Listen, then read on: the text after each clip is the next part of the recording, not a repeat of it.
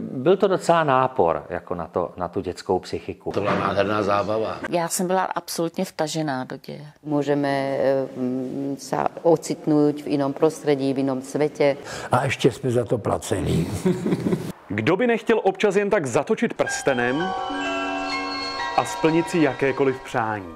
Iluzi toho, že je něco takového možné, nám na přelomu 70. a 80. let přinesl pohádkový seriál Arabela.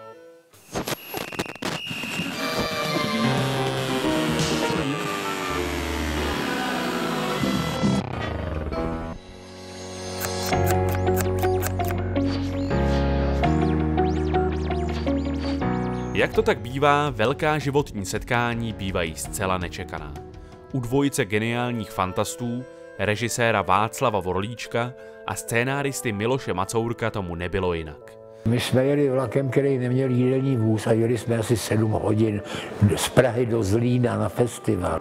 A stál na chodbě a z tašky vybíral takový malý balíčky, rozbalovali a je to. A to byly nějaký slaný sušenky proložený sírem a šunkou. Právě až svačina, kterou jeden druhému nabídl, prolomila ledy k dlouhému rozhovoru, na jehož konci stála dohoda o spolupráci. Ta jim vydrží tři desítky let a nese se primárně na vlně fantazie – Stanou se tvůrci světů, které do té doby existovaly jen v nejbujnějších představách a které dokáží geniálním způsobem propojit s reálným světem obyčejných lidí. Jsme si říkali, no to je ohromný, my jsme si vybrali takový zaměstnání, že v podstatě blbnem, vymýšlíme nesmysly a ještě jsme za to placení. Na úplném počátku projektu nesoucí dívčí jméno Arabela stál producent západoněmecké televize VDR Gerd Kaspar Mintefering, který si, uchvácen předešlou tvorbou Vorlíčka s Macourkem, objednal co si mezi dívkou na koštěti a popelkou ve 13 dílech a hodil v šanc milion západoněmeckých marek, díky kterým mohli českoslovenští tvůrci vytvořit skutečně velkolepé dílo. S hereckou elitou, nádhernými kostýmy i přehlídkou špičkového trikového řemesla. Libuše Šafránková byla pro roli princezny Arabely zprvu jasnou volbou. Když ale onemocní a nemůže k natáčení nastoupit, musí se režisér Vorlíček poohlédnout jinde. Takže si začal pouštět filmy se mnou, no a tam e, narazil ve filmu Smrt stopařek na Janu Naďovou, takže Jana Naďová vlastně e, díky tomuto přišla k nádherné roli. Poslední slovo však dostane přeci jen Libuška Šafránková, která Slovenku Naďovou nadabovala. Smím se na něco zeptat? Švárný jinochu? Já jsem šťastná, že to nahovorila právě Libuška, protože si myslím, že e, v tom období nebylo veľa času sa rýchlo naučiť tak dokonale po česky, protože sa točilo velmi rýchlo. Pendlovala som mezi Bratislavou a Prahou.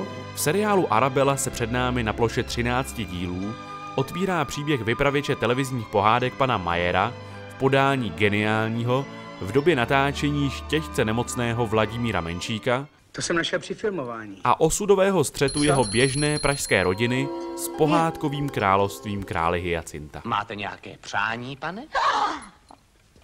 Fuj, to jste zase vy. Čiže to už byl geniální nápad od partnerů Macourka a Vodlička, to prepojení. Propojení světa fantazie a světa reality. Kam jdou?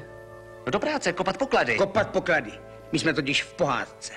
Tudíž to nebyla klasická pohádka, ono to bylo aj vlastně aj komediálne a bylo to aj romantické, bylo to aj emocionálne. A dobro vítězilo nad zlem, jak to tak odpradávna v pohádkách bývá. Ono zlo v Arabele stělesňuje zlý čaroděj druhé kategorie Rumburak, kterého si zahrál tehdy 28-letý Jiří Lábus. To byla zaprvé krásná práce z toho důvodu, že jsem byl mladý. Obsazení později populárního komika do ryze záporné postavy významnou měrou pomůže k tomu, že se z Rumburaka stane jeden z nejoblíbenějších pohádkových záporáků všech dob. No, a na to jsem právě čekal. Já to nebral jako západovou postavu, protože on vlastně chtěl lásku a nebyla mu dopřána, tak se malinko mstil, no a co? Tak pro mě to byla kladná postava. Vorlíček s Macourkem v seriálu neotřelým způsobem zpracovávají téma klasických pohádek. A vlastně vymysleli jsme eh, v první Arabele tu pohádkovou říši. A že je kdesi hluboko v zemi ta pohádková říše, kde se ty pohádky denně odehrávají. Takže Karkulka každý ráno veme košíček a jde a nechá se sežrat vlkem a tak dále. V jejich pohádkové říši, světě s vlastní poetikou a jasně danými pravidly se potkávají klasičtí děčtí pohádkoví hrdinové, Jako třeba já, z hrdiny pohádek takzvaně pro dospělé. kde byl Fantomas, kde byl pravděpodobně James Bond, no prostě kdy byly postavy z těch nových pohádkových filmů. Pak to jsou všechno pohádky. Co je Spider-Man? Pohádka samozřejmě. Co jsou Bondovky? No pohádky. Ale nechyběly ani zcela nové postavy z jejich vlastního pera. Ten malý je Mekota. A tohle je Pekota. Pekota. To je Fekota, je kota. A ty? Blekota. Naopak sedmero trpaslíků, kterých pozorné oko diváka napočítá jen šest, vizuálně nápadně připomínají licenci podléhající postavičky od Walta Disneyho. I přesto, že československá televize žádnou licencí nedisponovala, slavné studio nad tím přivřelo oči. To by mě zajímalo, který magor tohle vymýšlí. No a když jsem takhle se dostal do té nadměrné dekorace těch trpaslíků a najednou jsem prostě viděl ten obrovský záchod a umyvadlo, které bylo nad mojí hlavou, že jo, a tak, tak eh, jsem trošku váhal vlastně a byl to docela nápor jako na, to, na tu dětskou psychiku. Symbolem seriálu, který ovlivnil celé generace, navždy zůstává kouzelný prsten, jenž splní jakékoliv přání a jehož původní tři exempláře byly navždy ztraceny. Kdo ho má, vítězí, kdo ho nemá, prohrává. To byl tiež krásny, geniálny nápad. To byl sen nejen, dost, nejen dítěte, ale i dospělého. Že jo? No. Je krásný. Také se mě děti ptali, jestli prsten funguje, nefunguje, že jo. Já jsem jim, trošku jsem nevěděl, co mám říkat. Já věděl, že nefunguje, že, jo? Že, že to je prostě docela laciná tretka dokonce v tomhle případě toho prstenu, ale mm, jako některé ty věci e, byly tak úžasné, už jenom to samotné natáčení bylo velkou pohádkou. Môžeme mm, sa ocitnúť v inom prostredí, v inom svete s čarovným plášťom alebo s čarovným kufrom, s čarovnou kouli, vidieť, čo robí moje, môj priateľ, moja láska. Fantomase jsem se bál samozřejmě, pana, pana Peterky, tedy převlečeného do toho kostýmu. Takže to boli také krásne elementy v tom filme, ktoré dokázali v tej dobe hrozne zaujať. A zaujať nielen malé deti, ale aj dospelých, aj babičky. Já jsem byla absolutně vtažená do děje. Tento úžasný svět fantazie vznikal v době, kdy počítače neexistovaly. Arabela je tak výkladní skříní klasického trikového řemesla, spočívajícího ve využití zrcadel či hrátkách s expozicí a perspektivou.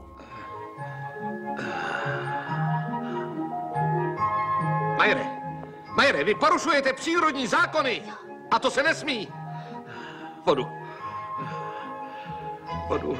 To eh, bylo docela obtížný, práce na milimetr přesná, ale naučili jsme se to a dělali jsme to pak docela, docela běžně. A ještě bych přidal jedno jméno, a to byl kameraman Emil Sirotek, který tomu dodával nejenom tu kameramanskou práci, ale dodával tomu i jako nějaký vyšší smysl.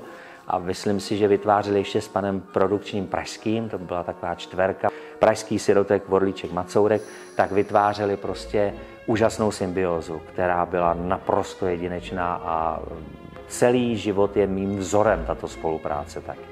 Přátelé, děkujem všem. Vidíte, jak se vám to líbilo? Natáčelo se v obrovském nasazení téměř celé dva roky. Václav Vorlíček se o herecké bardy přetahoval s divadly i jinými filmovými produkcemi. On měl eh, vlastně za svůj život vybudovaný ten úžasný herecký ansámbl, který mu hrál vlastně ve všech těch filmech. A e, tak, který je tam kompletně obsazen samozřejmě. A k tomu ještě v řadě menších drobných rolí vynikající herci, tam vlastně není nějaká slabší jako slabší obsazení, hrál tam opravdu leckdo, ale leckdo z té absolutní kvality. A myslím, že bylo vidět, že všechny ty lidi, jak se na to matně vybavují, že ta práce strašně bavila. Protože vlastně to nebyla práce, to byla nádherná zábava. Na křídech fantazie pana Macourka a pana Vodlíčka, že? takže asi takhle. No. Filmaři našli útočiště na hradu Český Štemberg, kam situovali pohádkové království. Vilu Majerových najdeme v pražských Černošicích. Po dvouročním natáčení, kde nechyběly patálie s dětskými herci ani zvířaty, se nakonec vše povedlo na výbornou. Arabela je i díky německé koprodukci vrcholným dílem své doby které světlo světa spatřuje 25. prosince 1980. To je prostě geniální první díl, který nedá divákovi pochybovat o tom, že má smysl se dívat na pokračování. Ono se řekne Arabela, nevěsta z pohádky. Jenomže nemáte tušení, jaký vám taková nadpřirozená bytost dokáže udělat ze života blázinec. Každý díl má svoje velké téma, svoji hlavní linku, svůj humor, svoji poentu, až do toho finálního 13. dílu, eh, kdy se teda potkáváme eh, na té zahradě, že jo, je tam ta svatba Petra a Arabely a vlastně je tam jakási tečka. Zvonečkem to začalo, ať to tedy zvonečkem také končí. Když jezevčík Pajda zvoneček zahrabe na zahradě Černošické vily, světu čar a kouzel odzvoní na více než 10 let.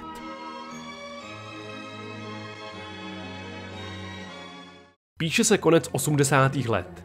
Producent Gerd Kaspar Mintefering z Kolína nad Rýnem je rok a půl před penzí. S českými autory má ty nejlepší zkušenosti a chce se jim za letitou úspěšnou spolupráci odvděčit. A říkal nám, tak kluci, to už jsme byli kamarádi dávno, já vám dám teďka veliký dárek, paž vy jste mi v mojí kariéře velice pomohli, tak já vám dávám objednávku přímo na 26 dalších dílů Hrabely. tak to nám spadly brady, protože jsme říkali, kde budeme brát pro boha nápady. Autoři se musí vypořádat nejen se smrtí Vladimíra Menšíka, ale i s neúprostnými termíny odevzdání, které se na výsledku chtě nechtě podepisují. Jsou momenty, kdy člověku nápady docházejí a i když se potí, aby něco vymyslel nový, jak se to nedaří. No, helejte, natočil jsem to poctivě s nejlepší snahou, aby to bylo důstojné pokračování. Výsledek s předlouhým názvem Arabela se vrací a ne Brumburak králem říše pohádek uvidí diváci poprvé až na štědrý den roku 1993 a z laskavé poetiky původní série zůstává jen pramálo. Najednou tam bylo spoustu postav, spoustu dějů, spoustu kouzel, včetně teda famózního výkonu pana Labudy, co by tedy toho magnáta hrač, výrobce hraček, toho pana Papa. To je nádhera. Věždba se plní. Jsem král říše pohádek. Jsem pánem Pultanelí. Když já jsem tam měl úžasné herecké přejitosti zase. Tam bylo to, to dvojnictví, že jo, takový nápady, že ohromný.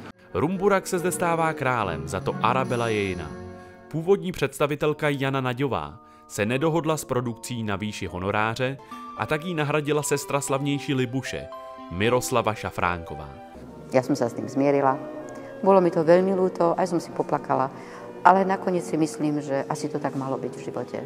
Viete, netreba za tým plakať, čo nebolo. A nakoniec veľa ľudí oslovuje práve mňa ako Arabelu.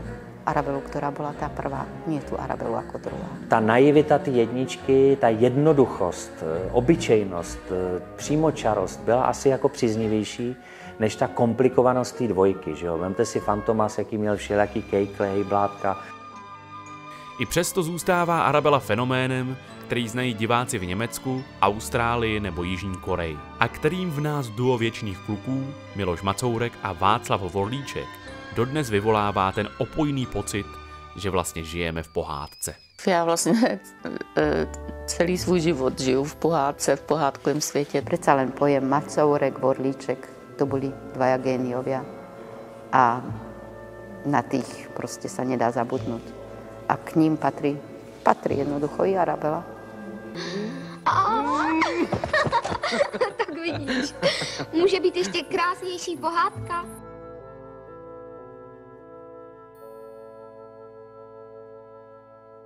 Milí diváci, kdybyste náhodou přišli k tomu nádhernému kouzelnému prstenu, tak mi ho vraťte. Děkuju vám.